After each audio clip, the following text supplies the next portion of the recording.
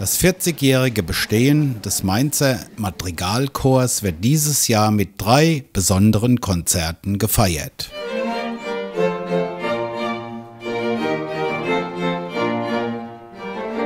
In einer fünfstimmigen Interpretation verschmelzen die Arrangements zweier befreundeter Komponisten zu einem einmaligen Hörerlebnis.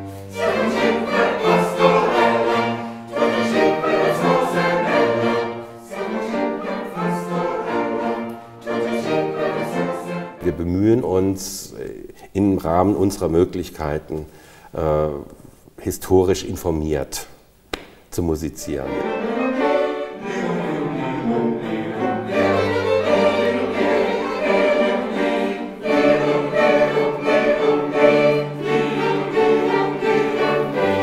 Gut, dann kommt Danza di Ninfe.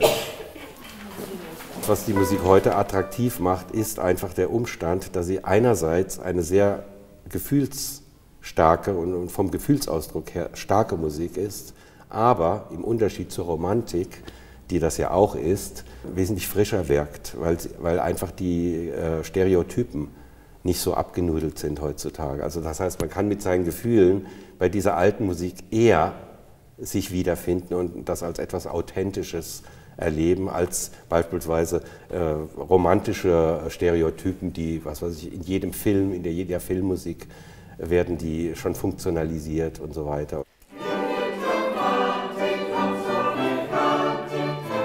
Authentische Instrumente gespielt von sensiblen Musikern verstärken die angestrebte Harmonie.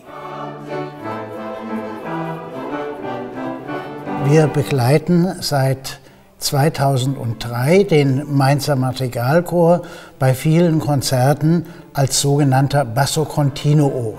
So nennt man in der alten Musik die Begleitgruppe, die aus einem tiefen Instrument und einem Tasteninstrument besteht. Das Tasteninstrument ist dann im Ernstfall beim Konzert ein Cembalo, also das Tasteninstrument eigentlich im 16. und 17. Jahrhundert und als tiefes Streichinstrument die Viola da Gamba.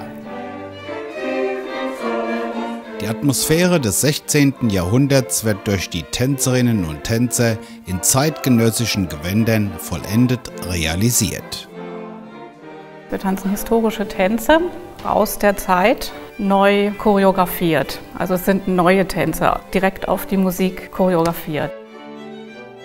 Die Besonderheit in diesem Jahr besteht darin, dass der Madrigalchor seit 40 Jahren existiert und seit 40 Jahren zum alternativen Urgestein der regionalen Chorszene gehört, muss man sagen.